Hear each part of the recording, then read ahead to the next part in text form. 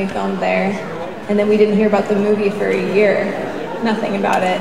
And then uh, it started playing in film festivals and started winning a bunch of awards. And then it got picked up by IFC. And then Tom then came to me at one of the premieres and said, I want to make part two. And gave me the premise for part two. And I was like, yeah, I'm totally on board. And then they cast in London for My name's Laurence. Yeah. I know. You're supposed to be talking with me, um, Yes. but they cast in London, if I'm not correct, They did, yes. for uh, part two. So, yeah. Um, I've seen that you started acting very late. Kind of, one could say that we, have, we, we have people who started acting before five Um, years, but you're a little later. Well, I, I've been working professionally since '87, so but, uh, uh, a, a lot of uh, Human Centipede 2 was my first feature film. Uh, did about seven or eight shorts before that, and several years on TV, and uh, years and years doing live performance arts in, a, in And just, at that point, I was hyperventilating. And they wouldn't let us park inside because they said the anthem singer was already inside because my manager had my parents in a separate limousine and he'd obviously told them that so that they could park inside. So we couldn't park inside, so I had to run like three city blocks in high heel boots, carrying a pink velvet dress with my hair bouncing all over, run into a trailer, I, and there's, where have you been, where have you been, into the trailer, throw the dress on. Then I hit the tunnel, they have a tunnel that come onto the field. There was nobody in the tunnel, usually for the, the football players, right? So I ran up that, just lickety-split, got to the top and realized I had high heel boots and I had to run over grass all the way to my microphone. The microphone was sitting there, the skydivers are coming down. It's really close to my going on. So I hit that, the, the turf, and was sticking in, all the way to the microphone. And the minute I got there, I thought, I'm gonna have to start, and I'm so out of breath, I'll never be able to sing. And they said, let's have a moment of silence for Coach Bear Bryant, who was a football coach, a college football coach. So I thought, he has saved my life. His passing has saved my life. I had 60 seconds to breathe, and then they introduced me to sing the national anthem.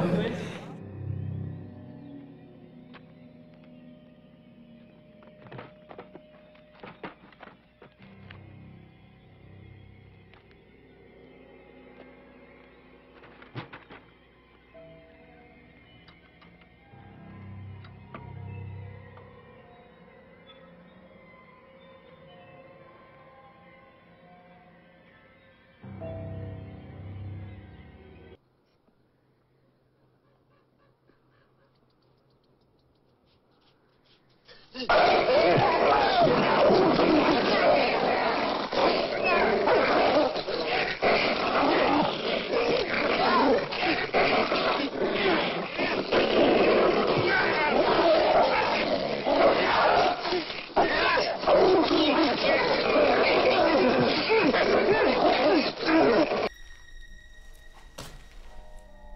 told you this place smelled of death.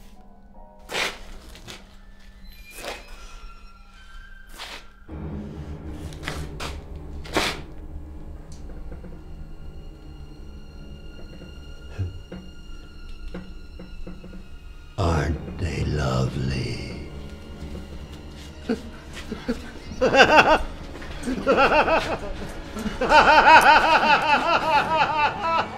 back in my truck getting ready to go to Alaska, and I get a telephone call from George's casting director, who was casting for another little movie.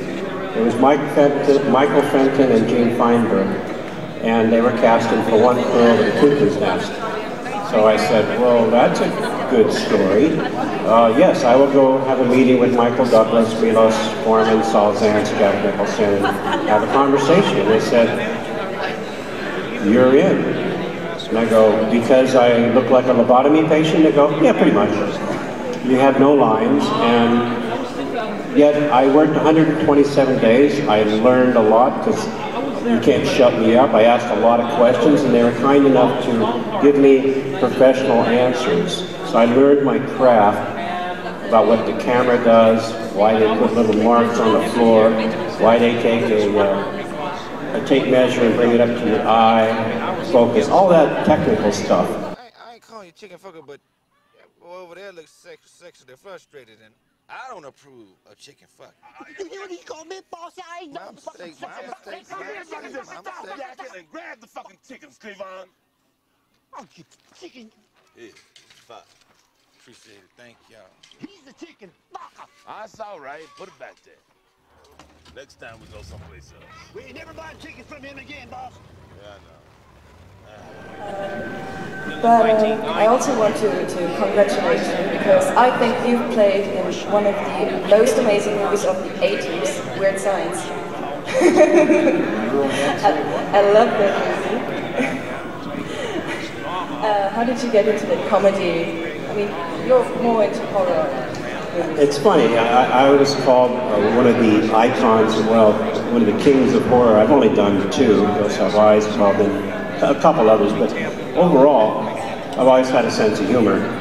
So I got the job and I got to meet Robert Downey Jr., He's a genius. I, I watch anything he does, he's proficient.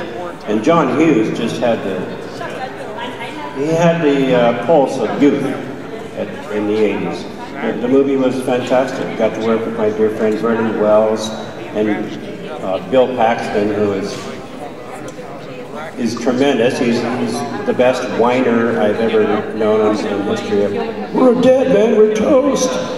Um, aliens, um, etc. But it was a brilliant comedy, and it played very well. And we just, we had fun uh, roughing up the kids and tearing up the house. Can we keep this between us? I'd hate to lose my teaching job.